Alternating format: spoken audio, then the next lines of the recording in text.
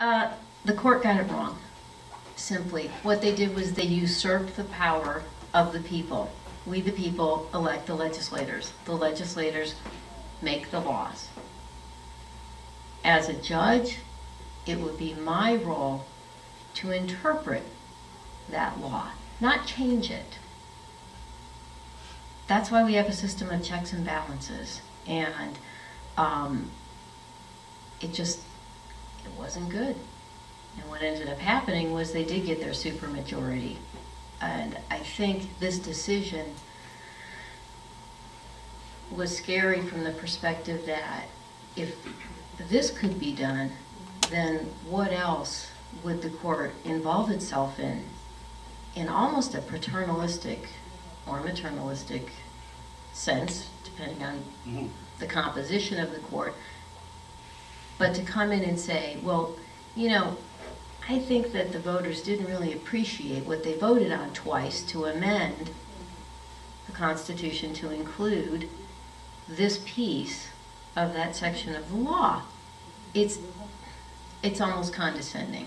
And uh, no matter what a judge thinks of a law, that has to be put aside. That's why we're nonpartisans, that's why we sit as unbased, unbiased jurists. And we, I would try to come to the best, unbiased, and fair decision on any matter that would come in front of me.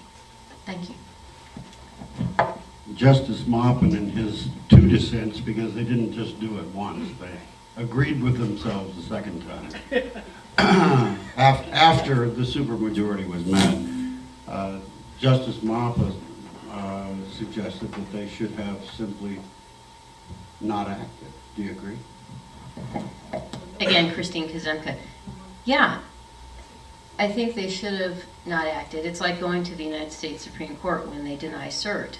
Perhaps they could have done that in this situation. Or they could have said, you know, you're not at a consensus now, but go back and try it again, because that gives full um, credence to what the people elected to have done in our state. And I don't think it's up to seven people to change that. Thank you. Ditto. What else are we doing on time? Time for a question? We got, To answer your question, uh, Travis, We're at uh, 2:43, we got two minutes, but for uh, Department 7, we only have one candidate here because the other one uh, called in with an emergency. So we, we got a little bit of time because I'm sure all five of you are going to be able to grill the uh, single candidate uh, in enough time, so go ahead. Fair enough. Travis Barrett here. Uh, Why is it important to identify veterans when they first come into the judicial system? Personally, I, I think that we need to identify them because I think that there may be different aspects or different concerns that, that they have. Um, with, all I can go on is, is, is in, is history. And I'm, I'm real fearful that, that um, when we start seeing our veterans, that are current veterans, not necessarily the, the, the veterans like you people that are, you know, older and, and been a little bit more um, relaxed, so to speak, in our, in, in our community, individuals are going to face some tremendous changes in their lives when they're when they're released. I know the military does what they can to to help them to release them, and um, I guess discharge them is the better word. Um, but I think that uh, I, I think there's going to be a lot of concerns that may go with.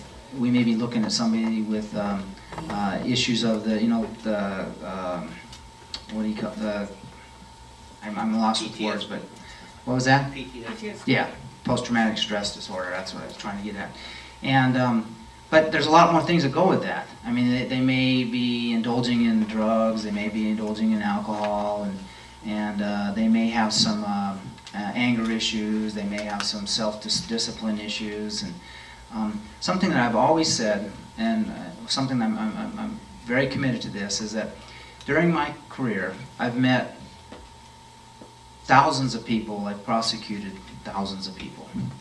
And a big majority of them are pretty good people. It's just that they lack some kind of structure. So I've been very a big proponent of the military because I think the military gives a lot of young men that structure. And um, I think when, the, when we let them go or discharge them, they're going to be right back in there and have lose that lack that structure. I know that there's a lot of support groups within the military themselves, kind of like this group right here, that the, that they can come to and, and discuss concerns and that. But but many many of the military, I think, are very proud individuals that that see. Uh, I I don't want to say disablements, or but see uh, concerns that they have as a weakness, and they don't want they don't want to bring that up with amongst their amongst their fellow Marines or or, or uh, uh, naval individuals. Um, but so the court has to, in my opinion, the court has to recognize, or ha I think has to uh, realize that that we're not we're not dealing with a normal individual in the sense that that he's been out or she's been out in the sense of being able to make different choices and haven't had the effects on the military that the military has given them. And um, so if we can see them and catch them early or see them in the beginning and let them understand that we recognize that there's some additional concerns above and beyond somebody else that hasn't gone through the same uh, conflicts or, or discipline issues with the military, um, then I think that they may take a little bit more, uh, uh, be more respectful in the sense that it may it may help them to the point where I'm, I'm not telling my fellow Marine buddy that that I had a problem last night and you know with with um, um, slapping my wife or something. I'm telling the courts, and, and the courts aren't aren't uh, um, they're going to treat me more with understanding towards it than just. Uh, uh, they may have worse time in there with their own buddies, and um, so I, I wanted to I want to see if we can recognize it early, to the point that um, I was talking to Steve before. I, I think the military ought to be involved as well in some regards. I'd like to see if we could open open up a dialogue amongst some of the military to help with some of the resources. Um, I spoke to Steve about a situation involving maybe the military kind of intervening again with uh, people that um, are looking at maybe getting a conviction in that. When I first started, it was pretty pretty common to have a young man come in there with some kind of indiscretion. You know, he, he stole somebody's car or something, and and we'd make a decision based on support that he's had here that hey, you know, maybe the good idea here is you go in the military.